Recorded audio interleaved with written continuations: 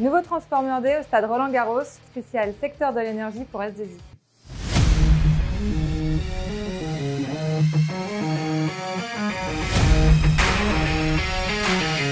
Avec S2I et le département énergie, on a décidé d'organiser cet événement parce que pour nous c'était très important de pouvoir rencontrer nos clients dans un contexte différent.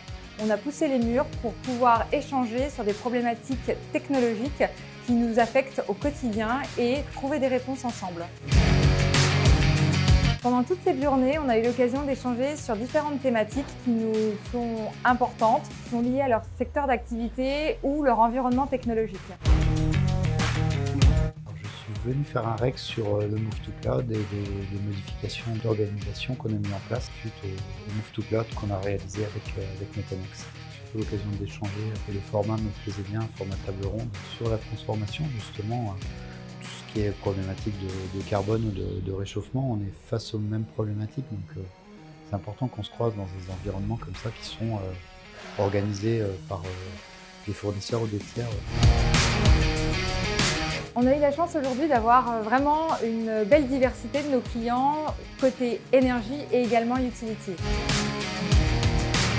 Moi, je suis venue spécialement pour le partage sur la transformation agile et tout ce qui était transformation d'organisation, sur lesquels j'ai eu un peu de réponse. Des bonnes pratiques euh, comme un serious game à mettre en place pour des personnes réfractaires. On, se rend compte qu'on euh, a des problématiques très similaires et ça a été assez euh, riche d'échanges et bah, également se donner des petits, conseils. Ça a le mérite en tout cas de, pouvoir nous rassembler autour des problématiques que l'on a en commun.